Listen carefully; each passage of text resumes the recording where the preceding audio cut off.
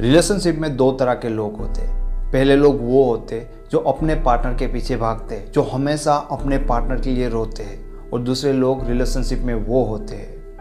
जिनके पीछे उसके पार्टनर भागते वो नहीं भागते। जिनके लिए उसके पार्टनर रोते वो नहीं रोते। तो ऐसा क्यों होता है? इन दोनों तरह के लोगों में क्या फ़र्क होता है? एक ही फ़र्क होता है, उन दोनों की आदतें अलग अलग होती है। अकॉर्डिंग टू रिलेशन आपकी आदतें सब अच्छी है तो आपका पार्टनर आपके पीछे आएगा। अगर आपकी आदतें सारी खराब है अकॉर्डिंग टू रिलेशन तो आपको हमेशा अपने पार्टनर के पीछे ही भागना पड़ेगा। तो इस वीडियो में मैं आपको बताऊँगा, प्यार में हमेशा जीतने वाले लोगों की आदत। जो ऐसी आदत है जो हमेशा आपको प्यार में जिताएगा, आपको कभी भी प्यार में अपने पार्टनर के सामने हाथ नहीं फैलाना पड़ेगा, कभी भी उनको रिक्वेस्ट नहीं करना पड़ेगा। तो वीडियो शुरू करने से पहले मैं आप सबको बताना चाहता हूँ कि डिस्क्रिप्शन बॉक्स में मैंने अपनी फेसबुक की लिंक इंस्टाग्राम की लिंक और मेरी वेबसाइट की लिंक जहाँ पे मैं लव और रिलेशन के बारे में आर्टिकल लिखता हूँ, वो सब दिया हुआ है। तो बात करते हैं प्यार में जीतने वाले लोगों की हैबिट के बारे में। और सबसे पहले बात करते हैं कि कभी भी आपको सामने से अपने पार्टनर को प्रपोज नहीं करना चाहिए। कई लोग यहाँ पे सोचते हैं कि अपने पार्टनर को सामने से प्रपोज करना चाहिए, क्योंकि हम प्रपोज नहीं करेंगे तो हमारे हाथ में जो ये मौका आया होता है, उसे इम्प्रेस करने का या उसके साथ रिलेशन बनने का जो मौका होता है, वो चला जाता है। ये बात मैं आपको समझाऊँगा कि आपको कैसे करना है, लेकिन उससे पहले आपको ये समझना चाहिए कि प्यार में और ये रिलेशन में हमें सामने से प्रपोज क्यों नहीं करना चाहिए। देखो, ये शुरुआती चीज़ें होती है ना, बहुत मोस्ट इंपॉर्टेंट चीज़ होती है। रिलेशन में ये बात बहुत ही मायने रखती है कि पहले सामने कौन आया, किसने अप्रोच किया, कौन पहले झुका। प्रपोज करने का मतलब होता है कि आपको ज़रूरत है उस इंसान को नहीं। वो तो सिर्फ़ और सिर्फ़ आपको एक्सेप्ट करता है या आपको रिजेक्ट करता है। तो पहले से जो उनका स्थान होता है ना, वो आपसे बढ़ जाता है। आप उसे एक प्रपोजल दे रहे हो, अब उसकी मर्ज़ी है कि वो एक्सेप्ट करे या उसको रिजेक्ट करे। तो यहाँ से ये चीज़ें तय होना शुरू हो जाती है धीरे धीरे और उसके बाद रिलेशन में आते हो, आप भाव देते हो, वो भाव खाते हैं। क्योंकि आपने प्रपोज किया, आपको ज़रूरत है। लोगों का ऐसा माइंडसेट बन जाता है। तो प्रॉब्लम यहाँ पे ये आपके मन में आए होगी कि यार प्रपोज नहीं करेंगे। तो ऐसा कैसे होगा कि उनका हमारे साथ रिलेशन बने? यहाँ तो हमारी 50 परसेंट जो चांसेस होती वही चले जाती अगर इतफाक से उन्होंने प्रपोज किया तो ही बात बनेगी।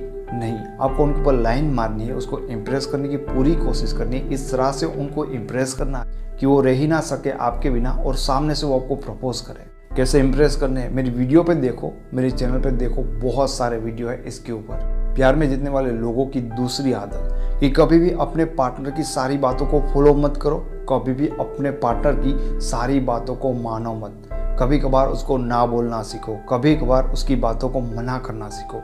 क्या होता है कि मोस्ट ऑफ़ टाइम जो आपका पार्टनर आपको कहता है कि अभी मुझे कॉल करना अभी मुझे बात करना है तो आप कभी भी उनको मना नहीं करते, अपना काम छोड़ देते। होता है ना ऐसा?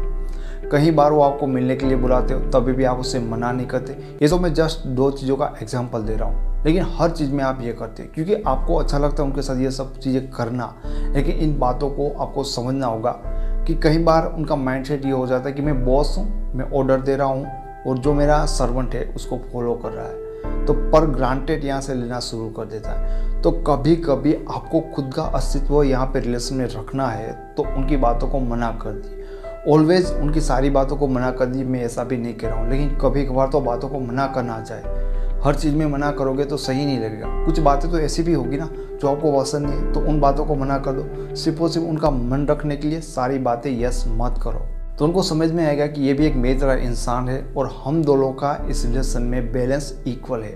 मैं ऊपर नहीं हूँ। अगर नहीं करोगे तो ऊपर चल जाएगा, आप नीचे और हमेशा आप दबते रहोगे, आप रोते रहोगे। तीसरी और मोस्ट इंपॉर्टेंट आदत, ये आपको करना ही चाहिए। कई बार आप अपने पार्टनर के लिए वेट करते हो ना तो जब आप उनकी वेट करते हो तो आप उनके लिए तड़पते हो तो ये आपकी तड़प है ना? उनके लिए आपका इंटरेस्ट बढ़ जाता है। पहले से भी ज़्यादा आपको उनके लिए इंटरेस्ट बढ़ जाता है, क्योंकि आप उनके लिए वेट कर रहे हो। वेट करने के बाद जो मिलता है ना, उनका सुकून बहुत ही ज़्यादा होता है। लोग कई बार कहते हैं कि, यार, मेरे पार्टनर का मुझमें से इंटरेस्ट कम हो गया। क्यों हो गया? क्योंकि आप हर बार उनके लिए अवेलेबल होते कभी आपने वेट करवाया ही नहीं। तो कभी कभार अपने पार्टनर को वेट करवाओ कुछ चीज़ों में। कॉल लेने के लिए एसएमएस का रिप्लाई देने के लिए, मिलने के लिए, उनको थोड़ा थोड़ा तड़पाओ। अपने मुँह से आई लव यू सुनने के लिए भी उनको थोड़ा सा तड़पाओ। इन शॉर्ट की जो भी वो माँगता है, जो भी वो चाहता है आपसे, वो सारी चीज़ें ऐसे ही आसानी से मत दे दो। थोड़ा सा स्ट्रगल करने दो। ऐसा अगर आप करने में सक्सेसफुल रहे ना तो कभी भी आपका पार्टनर आपसे बोर नहीं होगा। चौथी आदत, आपके पार्टनर को आपके रिलेशन में, आपके साथ आपको उनको ऐसा एक्सपीरियंस करवाना है, जैसा एक्सपीरियंस उन्होंने लाइफ में कभी भी पहले नहीं किया है। ये एक्सपीरियंस कुछ भी हो सकता है। जब आप अपने पार्टनर के बारे में जानते हो, आप दोनों के बीच में बातें होती है तो आपको बहुत कुछ उसके बारे में पता चल जाता है कि वो कहाँ पढ़े हैं क्या क्या उन्होंने किया है अपनी लाइफ में, क्या वो करना चाहते हैं, उनके कैसे विचार है। उस हिसाब से आप चीज़ों को समझ सकते उस व्यक्ति को समझ सकते कि उन्होंने अब तक अपनी लाइफ में कुछ ऐसा एक्सट्रीमली कोई एक्सपीरियंस नहीं किया जो आप उनके साथ कर सकते हो। लाइक कि आपका पार्टनर कभी भी बाहर अकेले नहीं गया तो आप उनको लेकर जंगल में जा सकते हो अकेले में, जहाँ पे थोड़ा सा डर भी लगता है, लेकिन उसको मज़ा भी आता है। तो वो आपके साथ आता है, पूरा दिन आप दोनों अकेले जाते हो ऐसे जंगल पे जहाँ पे किसी को कुछ भी पता नहीं होता। तो पूरा दिन आने के बाद तो वो कहेगा कि यार आज जो मज़ा आया ना, क्योंकि ऐसा मैंने लाइफ में कभी भी पहले नहीं किया था। ये तो जस्ट मैं आपको एग्जांपल दे रहा था, लेकिन ऐसी कुछ भी चीज़ और भी हो सकती। एक ऐसा एक्सपीरियंस जो लाइफ टाइम याद रखे कि मैं और मेरा बॉयफ्रेंड मैं और अपनी गर्लफ्रेंड के साथ कुछ ऐसा किया था। ऐसा कोई एक्सपीरियंस उसके माइंड में दो जो वो लाइफ टाइम याद रखे। क्योंकि आप ऐसा एक्सपीरियंस देते हो तो वो व्यक्ति हमेशा आपके साथ रहना चाहेगी, कभी आपको छोड़ के जाना नहीं चाहेगी। तो इस वीडियो में हमने प्यार में जीतने वाले लोगों की सिर्फ चार आदतों के बारे में बात करी है लेकिन इसका पार्ट टू जल्दी मैं बनाऊंगा और फिर से मैं पब्लिश करूंगा उसका वेट करिएगा आपको ये वीडियो अच्छा लगा तो इसे लाइक करें इसके बारे में कुछ कहना चाहते हो तो कमेंट करें और वीडियो चैनल पर पहली बार आए तो चैनल को सब्सक्राइब जरूर करें थैंक यू सो मच మీకు ఈ వీడియో నచ్చినట్టయితే లైక్ చేయండి షేర్ చేయండి సబ్స్క్రైబ్ చేయండి రెగ్యులర్ నోటిఫికేషన్స్ కోసం బెల్ బటన్ని ప్రెస్ చేయండి